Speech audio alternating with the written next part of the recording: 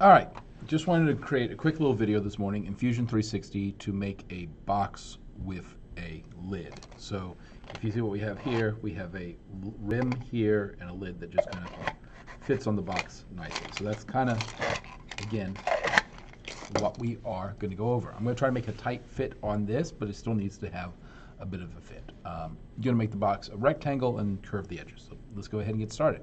Now the first thing we should always do is when starting Fusion 360 is we need to go over here, right click, make a new component, and this is going to be my box.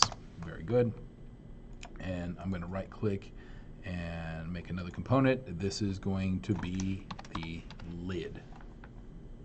Gotcha. So if you see over here, this right here is the whole sketch, and these are the different components that make up the sketch. And that's how Fusion 360 works. It's a whole bunch of components that then we can, uh, later on, I'll show you how to join together.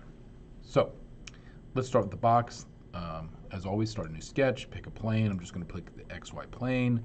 Uh, I'm going to search, pick a rectangle. Uh, for this box, let's go 120 by 120. I think that's a reasonably sized box. Uh, before I go on, I'm going to use the fillet tool and I am going to come in here and fillet all the edges. Uh, notice that I'm clicking on the, the edge or the line and that's going to do that. Now that's way too aggressive a fillet for me. I want something a bit subtler, so it's right now at 30 millimeters. I'm going to go down and take it down to 10. And I think that's a much nicer box. Again, your preferences may vary. So we have this, so I'm done with the sketch. And the next thing to do is I'm going to extrude the box up. So I have a very wide box. I don't want it to be that tall, so just 80 millimeters seems perfectly fine for me. Um, so I hit extrude, I'm going up and doing that. All right, so I have a cube. I have a children's play toy. Uh, we need to put a hole in the top. So I'm going to take the top of this box, I'm going to right click on it and go to create sketch.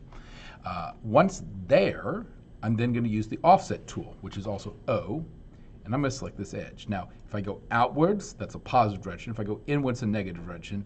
Uh, I don't want the I don't want it to be too big, so I think I'm just going to type in negative eight as my offset, and I'm going to be happy with that. Take a look. That looks right. That's going to become the hole of the box. So finish my sketch. Uh, hit E for extrude again. This time I'm selecting just the center. All right, this time we want to go down. Now I know this box is 80 and I could type in like 75 or something like that. But the other trick I can do is I can come over here into the menu and I can select to object and I want to extrude to the bottom of the box. Now I have a hole through my box. I have a, you know, that's sort of a spaghetti noodle.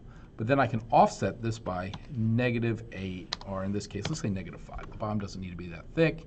Um, so I have a box with a bottom. I'm happy with this. So before we go over and start working on the lid, we need to make space on the lid for that. So remember, this is 8 millimeters thick, so I'm going to right click on this, create sketch, and then um, I'm going to again use the offset tool, select this, and I'm going to come in by negative 4 millimeters. So now I've bifurcated this, split it in half. Um, I'm done with my sketch. I'm going to hit extrude, select the outer rim, and I'm going to go down by negative 10. So 10 millimeters down. So now I have a box with a lid.